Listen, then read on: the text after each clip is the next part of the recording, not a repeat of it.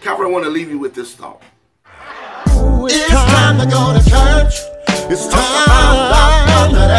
You ain't gonna find nothing in those. It's time to go to church. Stop running. It's time to go to church. Let the church amen. It's time to go to church. In 1 Samuel 16 and 12, we find David is destined to be great.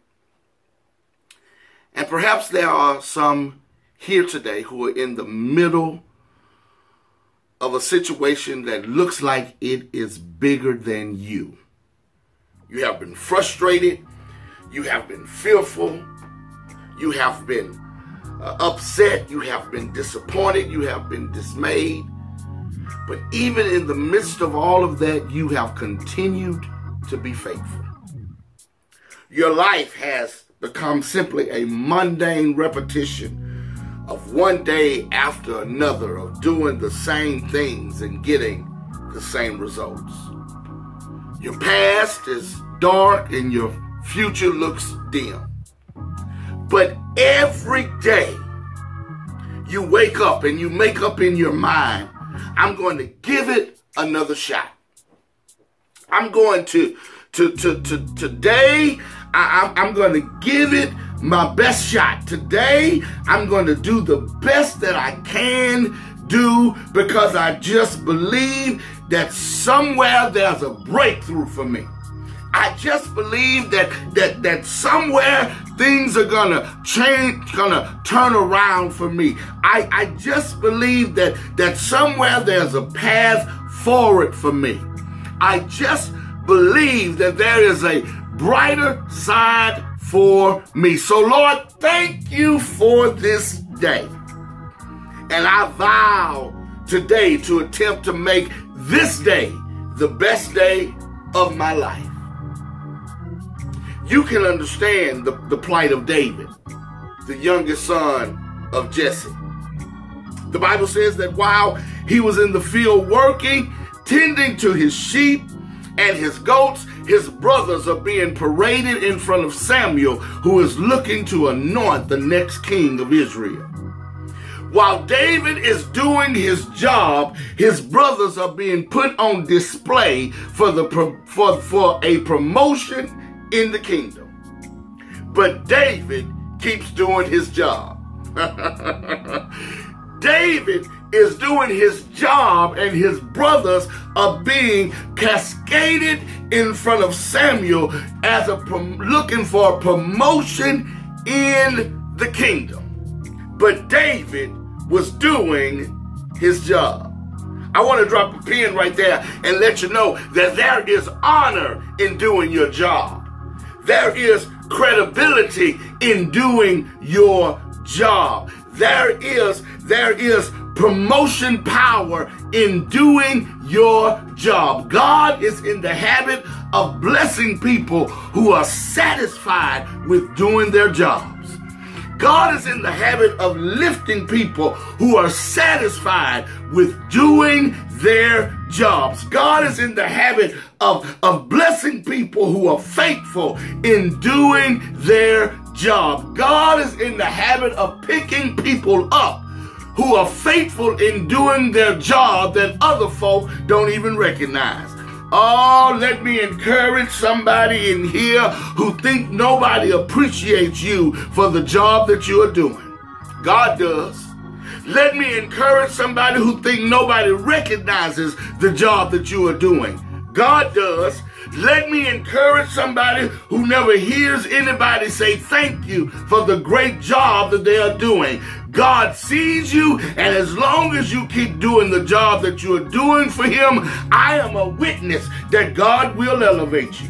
I am a witness that God will lift you. I am a witness that God will promote you. Give somebody a high five and tell them, just do your job. Because if you just do your job, God will bring you out. If you just do your job, God will turn it around. If you just do your job, don't give up. Don't give in. Don't get frustrated. Keep doing it to the best of your ability. God has a way of turning things around. Jesse cascades all of his boys in front of Samuel. Samuel says, No, None of these boys passed the test. Do you have another son? Because I know the king is supposed to come from your house. But none of these boys fit the description. Jesse says, I've got another son out there in the field tending to his sheep and his goat.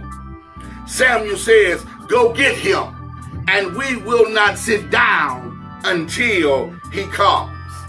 When David shows up, Samuel says, That's the one. Anoint him as king. There was, there was conditions inside of David that made him royalty. I'm going to say that again. There was conditions inside of David that made him royalty. There was something special about his heart that was pure and perfect.